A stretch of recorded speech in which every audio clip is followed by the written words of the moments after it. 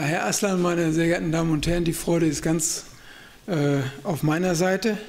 Einmal, weil ich es wirklich lobenswert finde, mit welchem Engagement eine solche umfangreiche und mit vielen Perspektiven ausgestattete Veranstaltung auf die Beine gestellt wird. Aber auch aus dem aktuellen Anlass, weil es gar nicht so leicht ist, hier hinzukommen, wenn die Bundesbahn oder andere Verkehrsmittel derzeit ähm, Aussätze haben. Ich freue mich, dass es geklappt hat und möchte ganz gerne mit der Frage, die der Vortrag vorangestellt hat, gleich starten. In den Präsentationen, die ich mitbringe, starte ich allerdings themenunabhängig immer erstmal mit diesem Bild. Dieses Bild soll Ihnen als meinen Zuhörern ein ganz klein bisschen vermitteln, wo ich herkomme. Die GLS Gemeinschaftsbank in Bochum ist eine Genossenschaftsbank und hat insofern auch einmal im Jahr eine Mitgliederversammlung, wo in dem Sinne der demokratischen Prinzipien in einem Unternehmen darüber entschieden wird, was denn eigentlich die Genossenschaft als Hauptziele verfolgen soll. Und wenn wir dann unsere wichtigen Arbeiten und Regularien geschafft haben, dann sieht das mittags bei uns im Garten in der Bank so aus. Wir unterhalten uns weiter und machen sowas Ähnliches wie Sie jetzt hier auch, sich austauschen über die Themen und Perspektiven. Ja, nun zur Sache. Ich möchte ganz gerne die Frage stellen, wofür wir in Zukunft noch Banken brauchen. Und eigentlich liegt vor dieser Frage mehr eine Bestandsaufnahme wozu denn Banken heute da sind.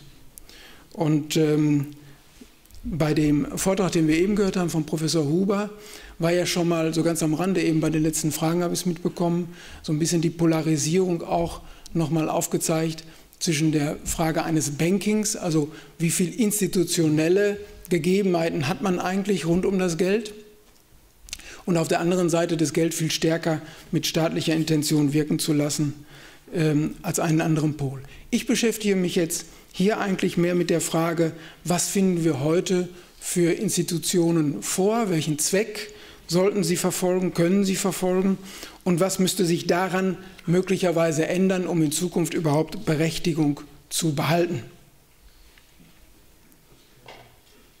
Julia braucht einen Kredit für ein neues Notebook. Das sind Tina, Paul und Marc. Sie wollen Geld anlegen. Tina, Paul und Marc ermöglichen Julia den Kredit für ihr neues Notebook und bekommen dafür noch eine gute Rendite.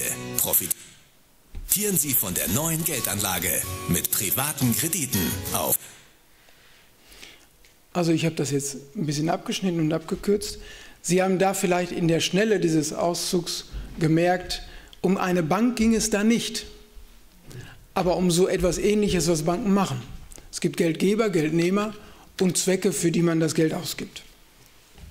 Und ich möchte jetzt durch das, was wir heute als Bankenlandschaft vorfinden, äh, ein bisschen durchgehen unter ganz verschiedenen Fragestellungen, weil ich glaube, so auch der Tenor der vielen Veranstaltungen, die Sie hier erleben können in dieser Woche, dass es wichtig ist, ähm, verschiedene Perspektiven zu beleuchten und sich dem Thema eben nicht nur so zu stellen, dass man sagt, die Banken haben wohl irgendwas vor die Wand gefahren, sondern ganz offensichtlich gibt es erstens ganz verschiedene Banken, Bankentypen. Ganz offensichtlich gibt es ganz verschiedene Interessen äh, rund um Banken. Und es gibt eben auch ganz unterschiedliche Ansätze, welche Logistik wir heute erwarten, was von Banken erwartet wird. Und last but not least, und das ist das Ziel meiner Ausführungen, ein paar Gedanken dazu, was könnte denn ein geeigneter Zweck für Banken in Zukunft sein. Und bei jeder dieser Fragestellungen stoßen wir dann auf Überlegungen, je nachdem, welcher Zweck vorherrscht, je nachdem, was ich mit einer Bank für Intentionen verbinde, kann das alles ganz unterschiedlich aussehen und die geeignete Bankform kann auch eine ganz unterschiedliche sein. Das werden Sie gleich an den Fällen sehen. Und wir brauchen nur die heiße Diskussion in der Frühphase der sogenannten Finanzkrise uns anschauen, 2007, 2008. Da war diese äh, Frage danach, was erwarten wir von den Banken? Eine unglaublich reduzierte Frage, nämlich reduziert darauf, dass wir die Einleger uns angesehen haben, also die Menschen, die bei Banken Geld einliegen haben, und dass die mit möglichst viel Sicherheit zu schützen sind. Alle anderen Gesichtspunkte haben für einen Moment überhaupt keine Rolle mehr gespielt. Das kann man jetzt für richtig halten oder für falsch halten. Auf jeden Fall gibt es seitdem eine dermaßen Reduzierung auf die Frage, was muss eine Bank leisten, dass eben dann die daraus folgenden politischen und gesellschaftlichen Rückschlüsse eben auch manche Irrung und Wirrung durchleben. Es sind eben auf der einen Seite die Einleger und auf der anderen Seite die Notwendigkeit, Finanzierung zu betreiben für Initiativen, Menschen und Unternehmen, die investieren wollen. Und damit fängt es schon an. Ich gehe mal zu der ersten Frage und schaue mir an, welche Banktypen haben wir denn eigentlich äh, zurzeit so vor uns. Die Bilder sind natürlich nur ein bisschen äh, symbolisch. Also natürlich gibt es die Banken, äh, die sich von den Börsen treiben lassen. Und natürlich gibt es die Banken, die unglaublich groß sind und so groß sind, dass sie nicht mehr umfallen dürfen. Aber ich gehe mal in zwei, drei Schritten durch diese Frage, welchen Typ von Bank haben wir eigentlich im Auge, wenn wir an eine Neugestaltung und Weiterentwicklung im Bankensektor denken. Die politisch prominenteste Diskussion ist die Diskussion äh, des Systems um die Trennbanken oder andersrum gesprochen, haben wir eigentlich äh, die Universalbank als die geeignete Form ähm, oder müssen dann die Investmentbankinghäuser dann abgetrennt werden und solche Gesichtspunkte. Das ist sicherlich die prominenteste Diskussion. Eine andere bezieht sich auf die Frage groß und klein.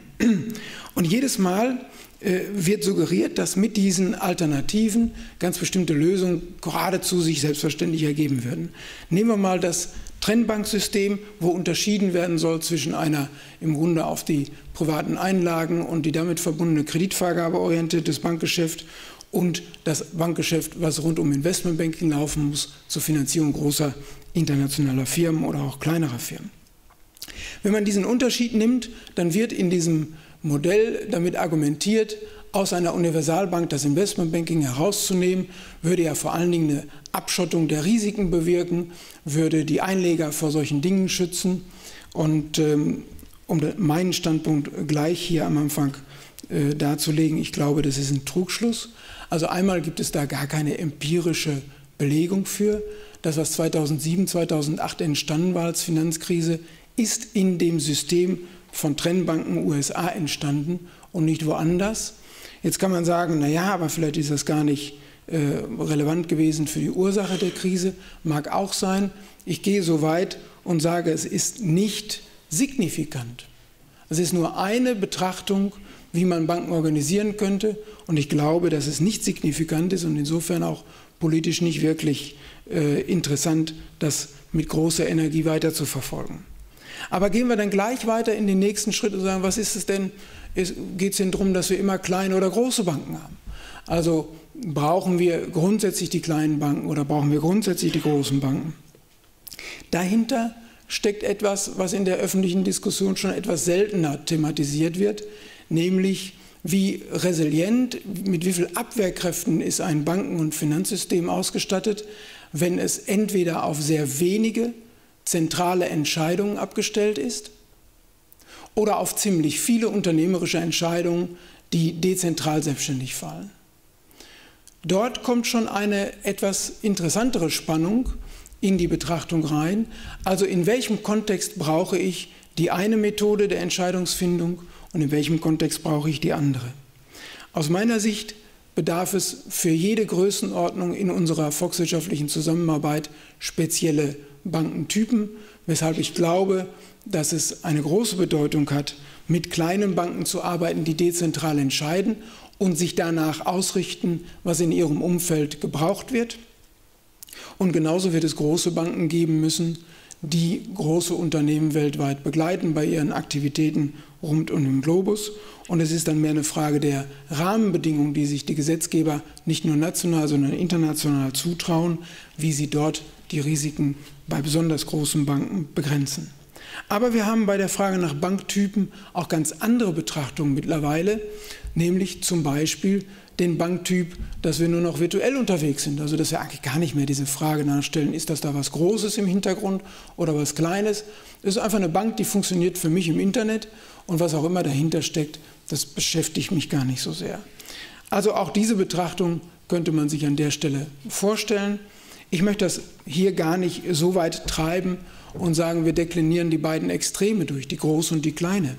Ich möchte Ihnen nur klar machen, wenn man äh, bei den Hauptstoßrichtungen der äh, politischen Aktivitäten nach der Finanzkrise ähm, mal genauer hinschaut und sagt, wir müssen alles dafür tun, dass diese großen Banken uns nicht weiter bedrohen, dann ist in der politischen Realität das Gegenteil passiert. Tatsächlich sind in den USA beispielsweise mehr als 180 Banken vom Markt verschwunden, weil sie gerade klein genug waren, dass man sie pleite gehen lassen konnte oder verkaufen konnte an irgendwelche größeren. Rein rechnerisch hat sich das Ding hoch, äh, hoch äh, akkumuliert. Das heißt, ob politisch gewollt, ob unterstützt, ob alimentiert oder irgendwie nicht beachtet, tatsächlich sind die Anzahl der Banken in allen Ländern kleiner geworden. Und dieses Kleinerwerden hat ja nicht dazu geführt, dass sich Banken aufgelöst haben. Da haben wir ja eben schon reichlich drüber gehört. Also das Geld, was die Banken verwandeln, ist ja dann praktisch nicht weg, sondern die damit verbliebenen Banken sind relativ größer geworden. Also faktisch haben wir seit 2007 eine Vergrößerung der Großen, bis auf einzelne Fälle, wo man sozusagen wirklich hart bereinigen musste, und die Kleinen sind weniger geworden. Hochinteressant, weil es zeigt auch etwas über politische Kultur und Diskussion. Das, was in einer Headline beschlossen wird, G20, G50 und wie diese Zirkel alle heißen, heißt ja noch lange nicht, dass es auch so ankommt.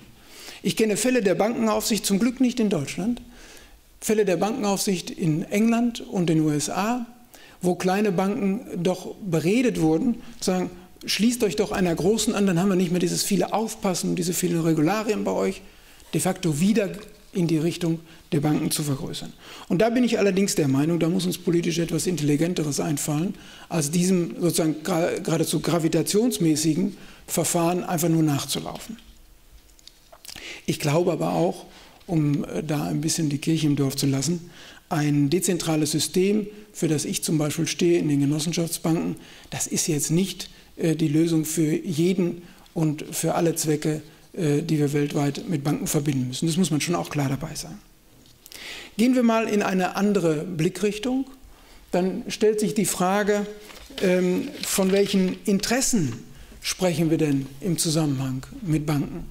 Und da wird es nun endgültig so bunt, dass niemand wirklich überzeugt sagen kann, es sind die Banken und ist das eine Interesse. Das fängt schon damit an, dass wir sowohl bei großen als auch bei kleinen Banken ganz unterschiedliche Eigentümerstrukturen haben. Also Banken, die als Aktiengesellschaft aufgestellt sind, Banken, die in kommunaler oder Länderträgerschaft aufgestellt sind, Banken, die als Genossenschaften aktiv sind und so weiter. Und ähm, jede ist mit einem anderen Antritt unterwegs, allein schon aus der Sicht der Eigentümer. Wenn man sich den Wettlauf vorstellt, zunächst mal der beiden dezentralen Systeme, Sparkassen und Genossenschaftsbanken hier in Deutschland, dann ist es ein Wettlauf um die Frage, wer hat denn sozusagen den, den besseren Impetus? Also sind es die Kommunen, die vor ungefähr genauso langer Zeit wie die Gründer von Genossenschaftsbanken gesagt haben, wir müssen einen Zugang zu, äh, zu Geld den äh, breiten Bevölkerungsschichten organisieren ähm, oder die Genossen, die gesagt haben, naja, das muss doch nicht eine Kommune für uns machen, wir tun uns zusammen als Bürger und geben uns genauso eine Satzung. Also diejenigen, die Geld übrig haben, tragen das zur Bank als Einleger und diejenigen, die investieren müssen, die also zunächst einmal Mittel brauchen, die holen sich von dieser Bank dann eben die Kredite und so kommt dieser Ausgleich zustande. Also dafür gibt es so viele Eigentümermodelle, dass dann schon der nächste Blick, welche anderen Interessen könnten noch drumherum eine Rolle spielen, ziemlich äh, verschleiert ist. Also beispielsweise äh, die Interessen, die dann nicht auf der kommunalen Ebene sich niederschlagen, sondern vor allen Dingen ja die Landesbanken über viele, viele Jahrzehnte beschäftigt haben, dass die Landesbanken irgendwann sowas wie Nebenhaushalte für die Landesregierungen wurden. Ja, das ist einfach so passiert. Was man in einem äh, demokratisch beschlossenen Haushalt nicht unterbringt, das versucht man so ein bisschen in der Budgetpolitik von Landesbanken zu organisieren und ähm, fühlt sich durchaus äh, auf dem richtigen Weg, weil man das ja in einem öffentlichen Interesse tut. Leider in einem vollkommen unkontrollierten öffentlichen Interesse. Und wenn wir dann einmal ganz woanders hingucken, nämlich auf die Mitarbeiterinnen und Mitarbeiter in Banken, dann gibt es auch da wieder ganz, ganz unterschiedliche Konstellationen. Das eine äh, sind Mitarbeiter, die sich eine Bank aussuchen, in der sie tatsächlich eine Tuchfühlung zu dem haben, was da die Intention ist. und das andere sind Mitarbeiter, die irgendwo hingehen, weil es da Arbeit gibt und die sich so lange äh, in einen Weg äh, zum Beispiel des unsinnigen Bankings begeben, bis sie aus diesem Rädchen aussteigen wollen und sagen, ich suche jetzt nach Sinn in meinem Leben. Also da gibt es auch ein Riesenspektrum und ähm, das zeigt aber, dass wir bei der Frage, was muss eigentlich rund um die Reorganisation von Banken, die unbestritten notwendig ist, geschehen, überhaupt nicht eindimensional arbeiten können, sondern wir sollten uns für die verschiedenen Zwecke und die verschiedenen Aufgaben das richtig angucken. Und was das Bild oben rechts in der Ecke symbolisieren soll, ähm, naja, das hat damit zu tun, wenn wir von den verschiedenen Interessen äh, rund um Banken sprechen, dann kann man sich ja auch die Frage stellen, handelt es sich um die Interessen von heute oder handelt es sich um die Interessen von morgen? Die Frage habe ich in der veröffentlichten äh, Diskussion über Banken noch überhaupt nicht wirklich gehört. Ja?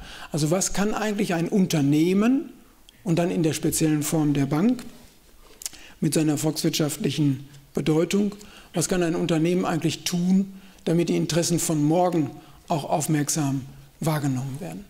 Und spätestens dann hakt das völlig aus, weil das hat mit Begrifflichkeiten, die wir ansonsten rund um Banken kennen, überhaupt nichts zu tun.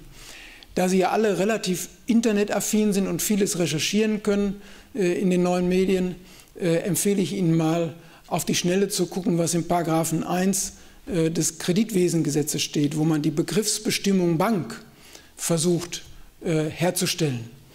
Da fallen Sie sozusagen von jedem Glauben ab. Also abgesehen davon, dass da nicht mal ein einziger Satz drin steht, was denn grundsätzlich eine Bank überhaupt erstmal leisten möge. Also was ist der Charakter einer Bank?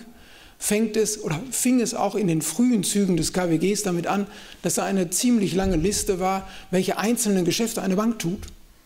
Das ist abenteuerlich ja, für einen so wesentlichen Sektor. Und ist in den Jahren und Jahrzehnten, die das KWG weiterentwickelt worden ist, aufgebläht worden mit immer mehr Einzeldarstellungen, mit immer mehr Fällen, die man irgendwie erwischen wollte.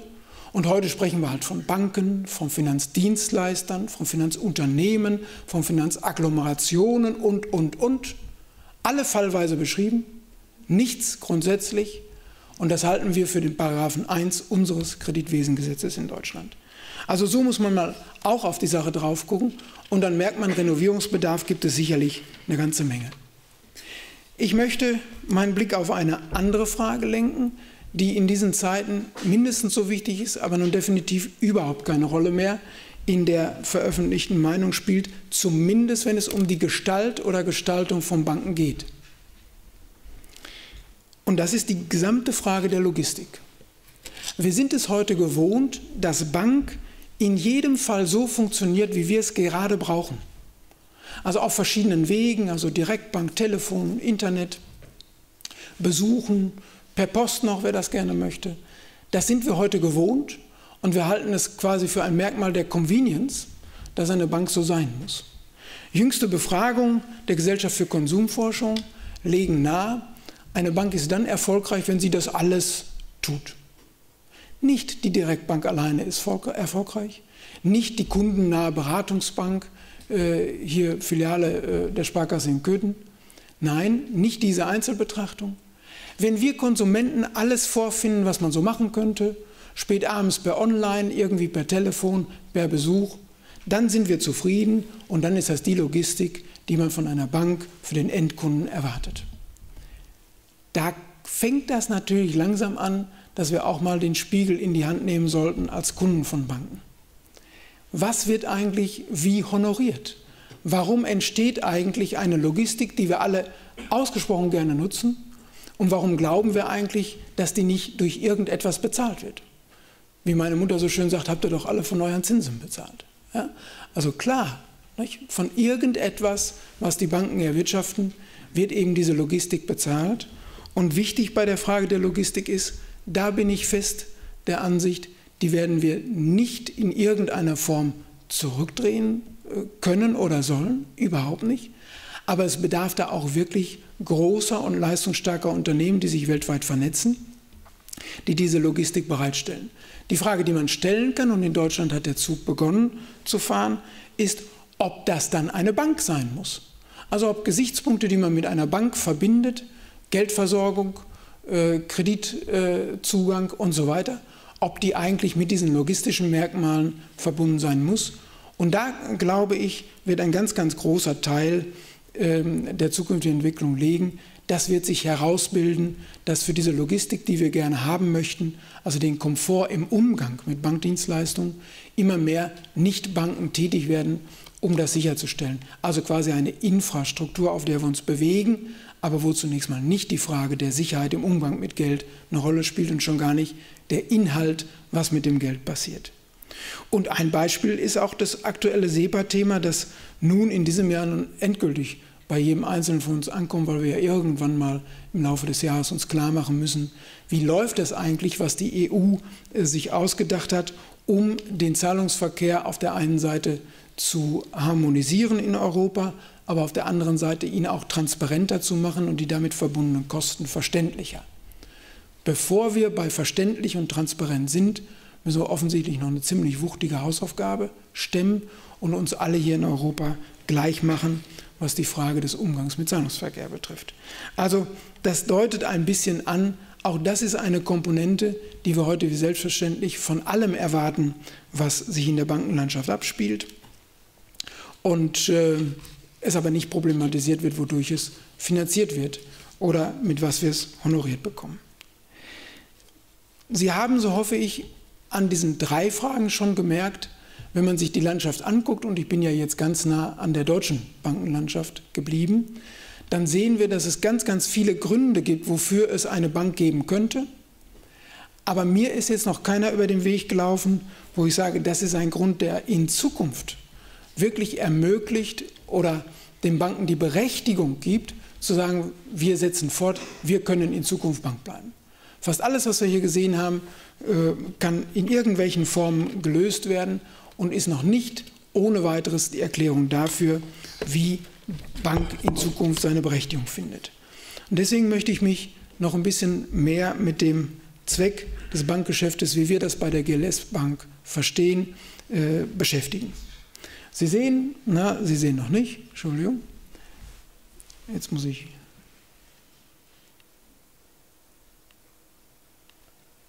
Sie sehen hier auf der linken Seite das, was eben auch in dem Vortrag vorher schon immer wieder eine Rolle gespielt hat. Also wenn wir Banken verstehen als eine Maschine, aus der man irgendwie entstandene Überliquidität immer noch mit Rendite versieht, also Geld aus Geld versehen und das möglichst ohne, dass man sich weitere Gedanken machen muss, dann sind wir so auf diesem linken Trip und irgendwann fragt man sich, ist die Säule so groß? Ähm, also wir können sie weder essen, wir können noch, äh, äh, wir können nicht äh, mit dieser Säule irgendwie ähm, andere Dinge machen. Das ist einfach erstmal nur Geld aus Geld. Wenn der Zweck einer Bank da bliebe, dann könnten wir wirklich endgültig den Laden zumachen und müssten uns in der Tat unmittelbar äh, an den Gesetzgeber wenden und sagen, wer schreibt jetzt eigentlich mal vor, wie das laufen soll mit dem Umgang mit Geld. Wir sind aber überzeugt, dass es ein Feld gibt, wo man sagt, da könnte die Wurzel auch eines neu entwickelten Bankgeschäftes liegen und das ist letztlich bei den Bedürfnissen der Menschen im Umgang mit Geld.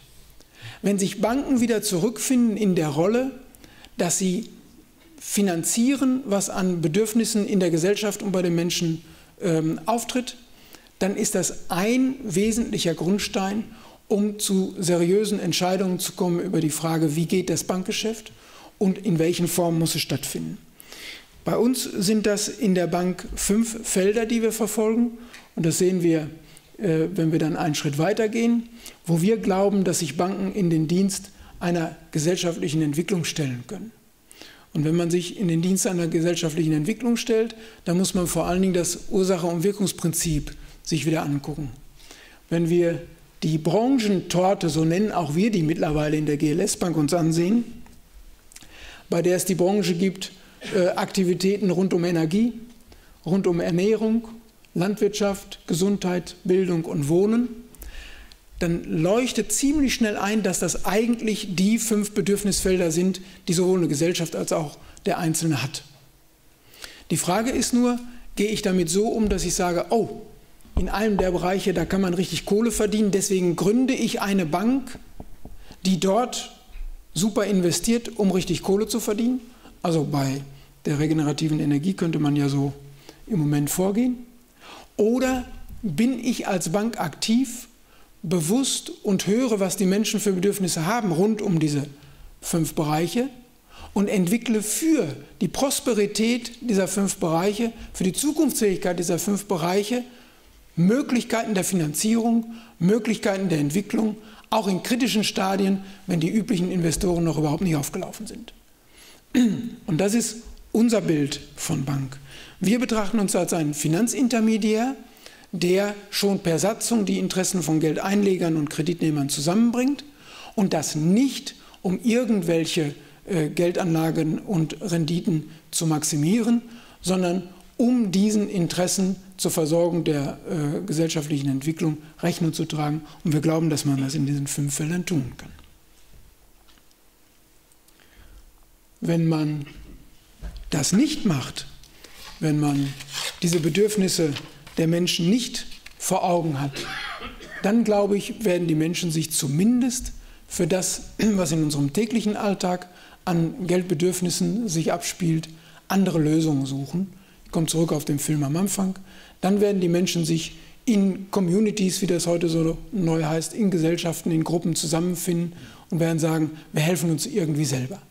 Damit hat man noch überhaupt nicht die Probleme bei den wirklich großen Playern und bei den großen Logistik- und Bankunternehmen angefasst. Man hat aber sozusagen das nachbarschaftliche Banking, das kleine Banking für die Dinge, die wir alle uns gut vorstellen können, hat man dann auf diese Art und Weise weiterentwickelt.